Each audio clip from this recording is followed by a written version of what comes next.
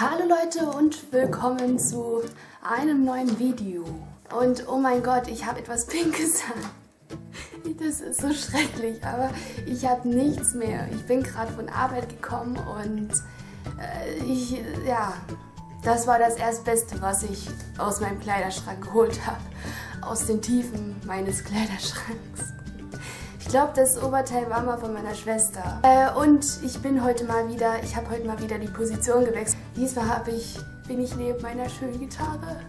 Ja, okay, das pinke Outfit passt überhaupt nicht zum Thema des heutigen Videos, aber lassen wir mal. Denn ich möchte in diesem Video meinen ausgedachten Harry Potter Charakter vorstellen. Als Kind, äh, als ich in die Phase kam, wo ich diese Bücher gelesen habe, habe ich mir einen eigenen Charakter dort hineingestellt, den ich dann vielleicht bei dem Film oder so spielen würde. Also ich war ja früher immer so auf diesem schauspielerischen Trip aus. Und deswegen habe ich mir auch irgendwie bei jedem Film irgendeinen Charakter erschaffen, den ich dann selbst verkörpern würde. Aber ja, und bei Harry Potter war das so, ich habe dann wirklich in jedem Buch diesen einen Charakter mit eingelesen also Textstellen hinzugefügt, also dass dieser Charakter dann in den Büchern war. Mir hat es sehr gefallen und da hat das Lesen gleich viel mehr Spaß gemacht. Und ja, ähm, ich habe mich vor drei Tagen oder so erinnert daran, da ich auf Ask ähm, eine Frage bekommen habe. Und zwar war das die Frage, ähm, in welches Buch ich mich doch gerne hineinlesen würde. Und deswegen ist mir Harry Potter gleich so eingefallen. Und zwar, ich musste in mich gehen und alles rauskramen, was ich noch über den Charakter weiß. Denn es war wirklich, oder es ist wirklich, ich glaube, sechs, sieben Jahre her, dass ich dies getan habe und ich habe die Hälfte vielleicht vergessen. Aber ich habe jetzt ein paar Stichpunkte doch zusammenbekommen und ich möchte es euch jetzt vorstellen. Also, ähm, der Name dieses Charakters war Alex Say äh, Alex einfach, weil ich den Namen zu der Zeit sehr, sehr cool fand. Also immer bei irgendwelchen Filmen mit Alexen, keine Ahnung, äh, fand ich den Namen richtig, richtig genial. Und deswegen wollte ich unbedingt, dass dieser Charakter auch Alex heißt. Und ja, so, und der Nachname Say, ich weiß nicht, ich glaube, ich war sehr unkreativ, was den Nachnamen betrifft. Ich bin generell so bei Nachnamen sehr unkreativ vor allem auch bei meinem Buch, weil die Nachnamen sind schrecklich. Und ich finde einfach keine schönen Nachnamen für meine Figuren. Aber okay.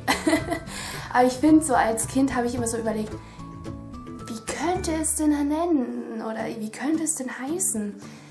May, Say, Kay. Ich war irgendwie auf dem AY aus und ich weiß auch nicht warum. Alex Say war in dem Haus Slytherin äh, einfach deswegen, weil früher als Kind, als ich so in der Harry Potter Phase war, gab es für mich irgendwie bis zum fünften Teil tatsächlich nur Slytherin oder Gryffindor. Und in Gryffindor waren die meisten, deswegen muss es einfach Slytherin sein. Und die anderen Häuser, ich, ich denke, also ich glaube, ich war noch nie so wirklich verbunden mit diesen anderen zwei Häusern, also Ravenclaw und Hufflepuff. Ich weiß nicht, ich weiß auch eigentlich gar nichts über das Haus. Ich habe einfach Slytherin genommen, weil Snape auch Slytherin ist und ja, ich mochte den Charakter sehr, Snape. Ich glaube auch nur wegen dem Schauspieler dann im Film. Alan Rickman. Und Alexei war mit, wirklich mit jedem befreundet, also sprich mit Draco Malfoy. Ich wollte unbedingt, dass sie irgendwas mit Draco Malfoy macht. Ich glaube, deswegen habe ich ich sie auch ins Haus Slytherin gesteckt. Ja, mit Draco Malfoy, weil ich einfach Tom Felton richtig cool fand, also richtig toll fand. Ähm, ich stand früher total auf blonde Haare. Jetzt ist es eigentlich relativ egal, aber ich stand auf Jungs mit blauen Augen und blonden Haaren. Ich hätte beinahe blonden, äh, ja, blonde Augen und braune. Äh, ja, und also sie ist mit Draco Malfoy irgendwie befreundet, sehr gut befreundet, sage ich jetzt schon mal.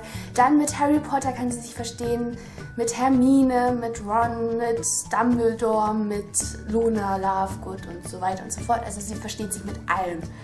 Ist klar, man will nur das Beste für seinen Charakter. Dann habe ich noch sie sehr schlau erstellt und zwar schlauer als äh, Hermine. Also sie sollte immer Zaubersprüche schon können, die Hermine gar nicht kann oder kennt oder keine Ahnung. Okay, was kann Hermine nicht kennen? Aber ich wollte das so gestalten, dass sie wirklich alles kann und im Laufe der Bücher immer mehr kann und immer mehr kann als die anderen. Und das waren gerade sehr viele Mehrkans.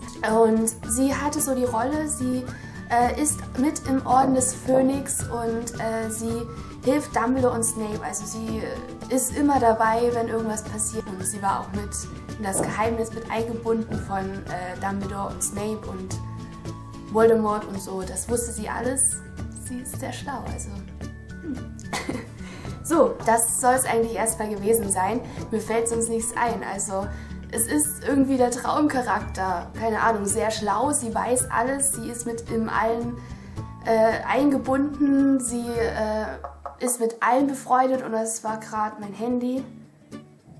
Uh, meine Mama hat geschrieben. Ja, und das war dieses Video mit diesem Charakter. Ich hoffe, es hat euch gefallen. Ihr könnt ja mal in die Kommentare da unten schreiben, äh, ob ihr euch auch irgendwo einen Charakter erstellt habt in irgendein Buch oder einen Film, äh, den ihr dann selbst verkörpern wolltet oder auch halt euch selbst in irgendetwas hineingelesen habt. Und kommen wir auch schon zur Endcard.